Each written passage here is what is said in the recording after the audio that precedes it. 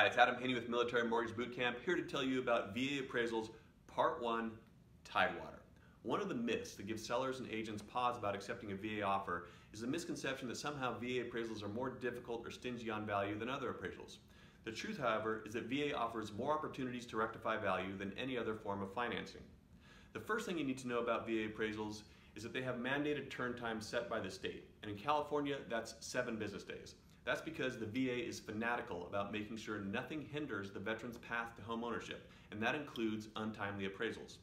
The second thing you need to know about VA appraisals is that they're not handled by appraisal management companies. Instead, VA appraisals are ordered through the VA's approved panel of appraisers.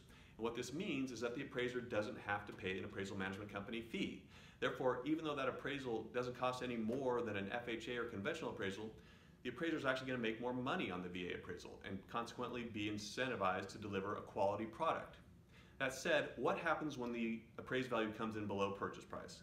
This is when the appraiser invokes Tidewater, which is an automatic mandatory VA procedure whereby the appraiser is given 48 hours to come up with two more comps to substantiate the purchase price.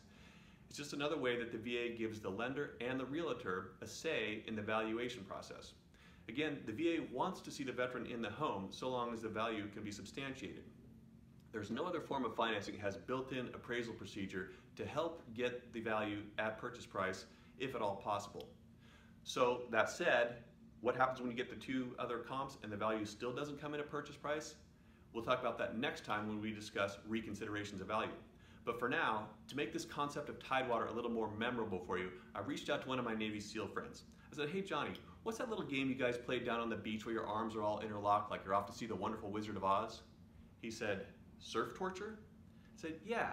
You know, when the tide water comes up over your head so you can't breathe and you have to wait till the wave goes out till you can take your next breath. Then another icy wave comes in giving you an ice cream headache and you're getting hypothermic and they have you do that into the morning, noon, and night. You know, just out there frolicking in the tidewater. Now, this is not how the Appraisal Tidewater Initiative got its name, but here's the point. If our veterans can endure the most intense military training on the planet just so that they can put themselves in harm's way and risk getting killed or captured to protect you and me, the least we can do as our civil duties as real estate professionals is to educate ourselves about the truths about VA financing. And that's why I'm here. So please forward this information to anyone will help. Contact me if you have any questions. And stay tuned for next week when we talk about reconsideration of value. I'm Adam Heaney with Military Mortgage Bootcamp.